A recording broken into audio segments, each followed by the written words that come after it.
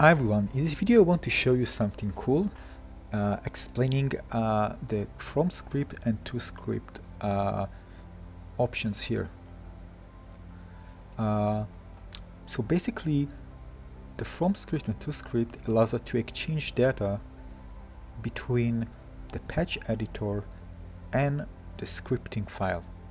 I already created a script.js, I'm going to access it in a moment. I've already set up a patch we're going to explain to you in a moment and have some objects available for us here. So first let's go quickly uh, to see what I added into the scene. The first thing is a face tracker.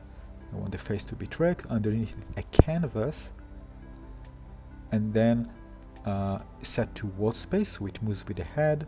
Underneath it a text 2d text element which allows me to just add a text and it will appear here. All right now, uh, in the patch editor, you can see that I already dragged the face tracker uh, to the patch editor, which brought me uh, this. To just do it now. I'm gonna drag and drop the face tracker. I have a face node available, which I connected to the blink because what I want to do is uh, when the user blinks to change the text. So I did right click, blink, I added the blink patch, which is this one, and then I need to connect the face. So uh, knows uh, which which face uh, we should monitor for blinking. First face in the scene, and then uh, here. Now let's uh, for now I want to show you here. Yeah. So the first thing I want to do is uh, when user blinks, when she blinks, I want to do to run some code.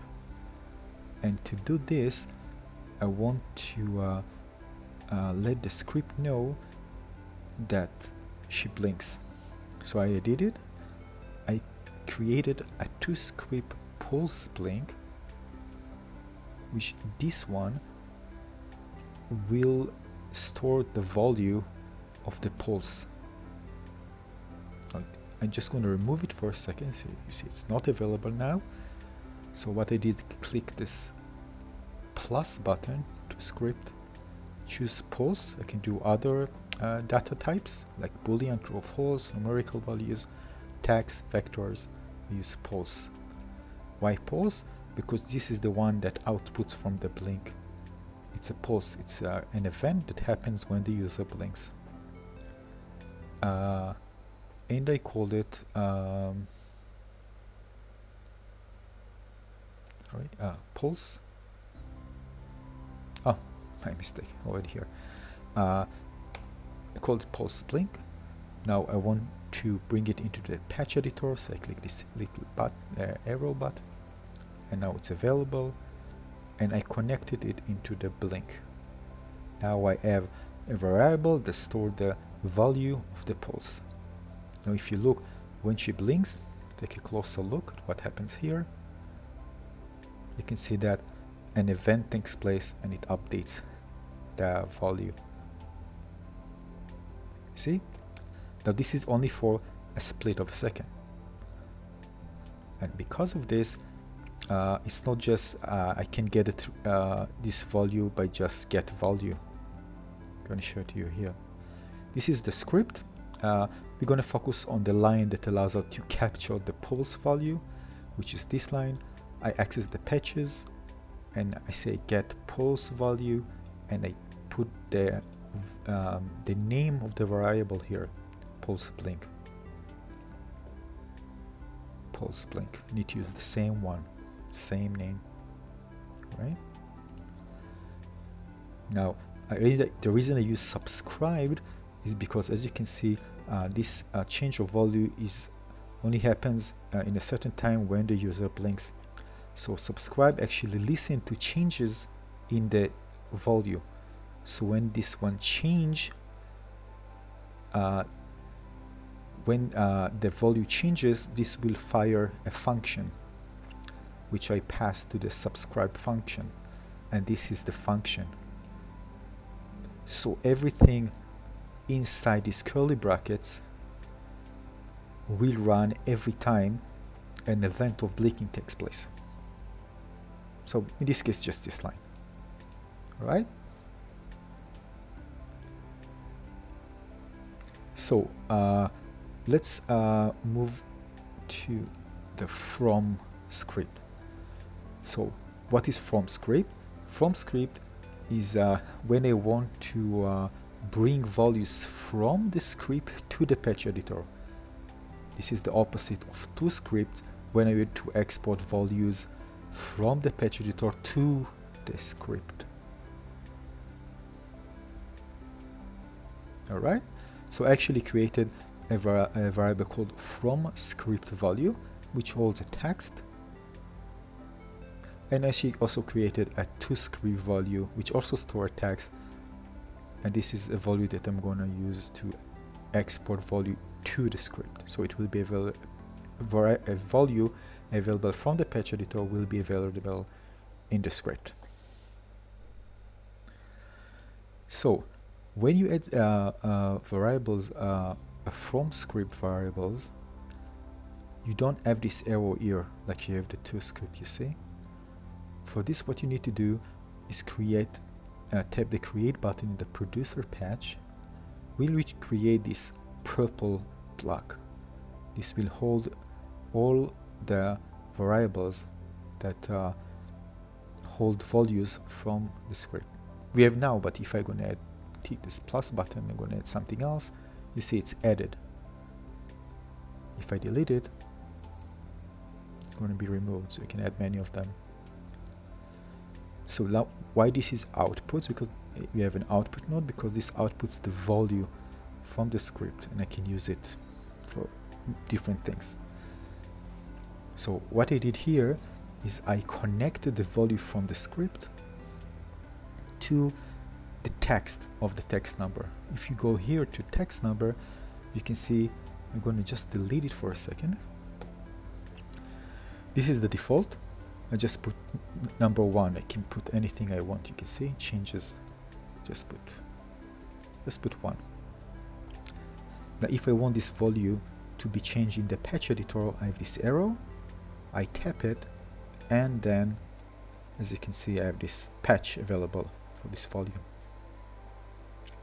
Now what I did is connected a from script variable to the text and what this means that the value from the script will be seen uh, will be will will update the text value for the text number to the text element here.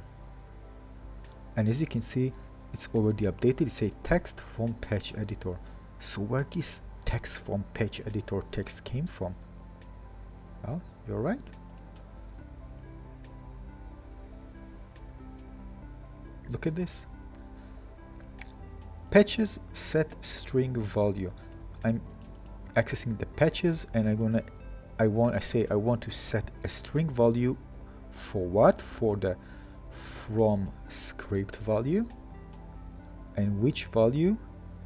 The one that here that I get from ToScript value Maybe this will be a bit confusing, so what I'm going to do, I'm just going to remove it for a second.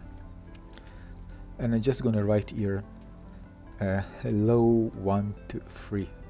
Oh no, I am from script. Just this one, alright? Let's go back to our project. And now we wait for the blink. Remember the pulse blink.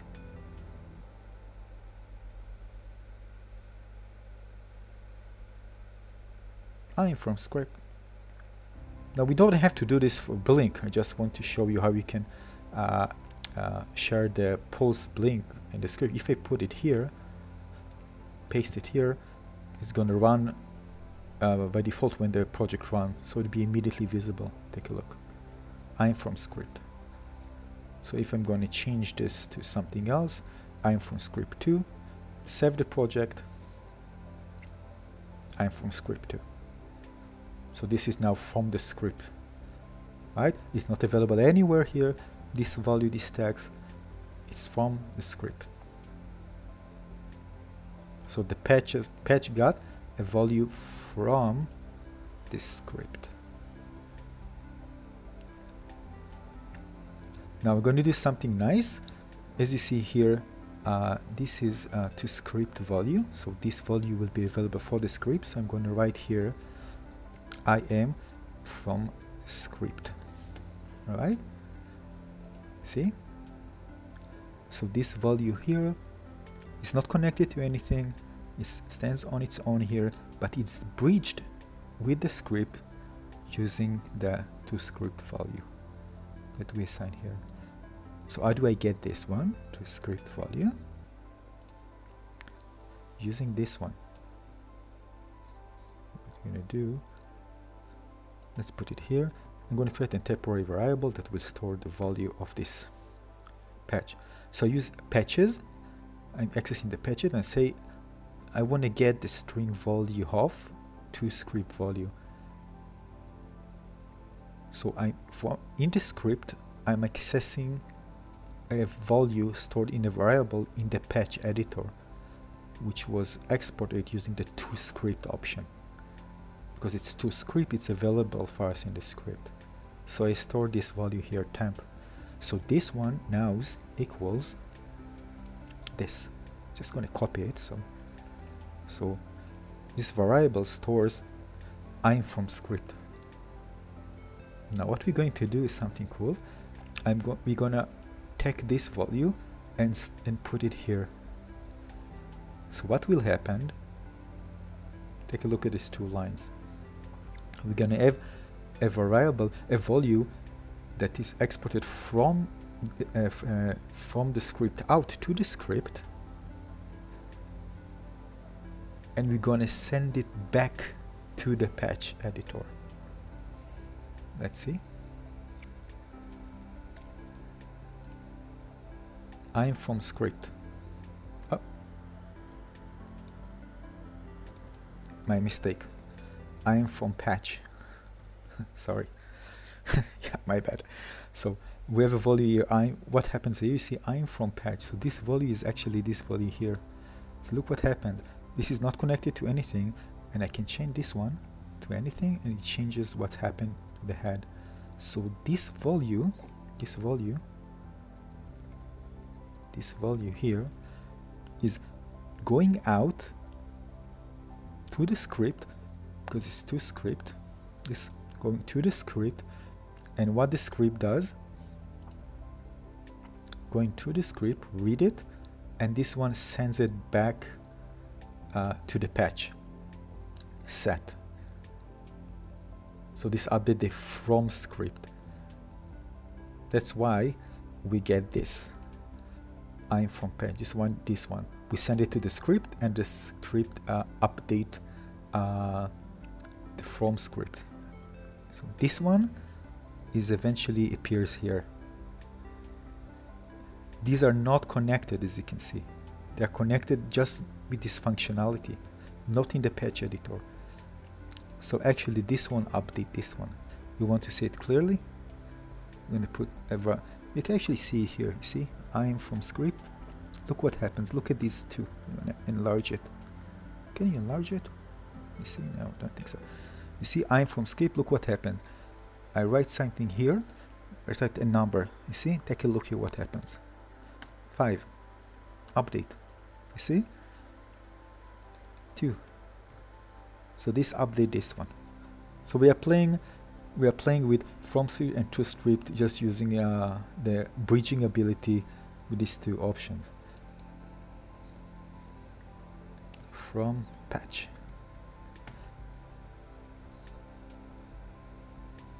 you see what happens.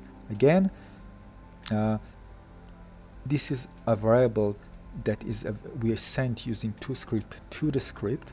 The script reads this value send it back to the patch using the from script which is this one here. And we set the value of the text number here to that value. This how we can play with data. I'm just exchanging data uh, uh, forward and backward between the patch editor and the and the script file So this is a simple example. I'm going to stop here. I might do different examples uh, later on, something that can, you can use actually to do something useful in filters. But this is the core concept. I'm going to keep it short. Uh, so just watch this video, try to understand how we exchange those uh, uh, values between the script and the patch editor uh, because we're going to use it a lot in future videos where you can see how can I combine those two some things that are easy to do in the patch editor so I prefer this in the patch editor and then uh, use code for other things and I kind of use both of them. Because my goal is to do things uh, efficiently fast and also want things to be simple uh, so I can manage the code if I want to make changes later on so that's it uh, don't forget to subscribe. I'll see you in the next video. Bye everyone.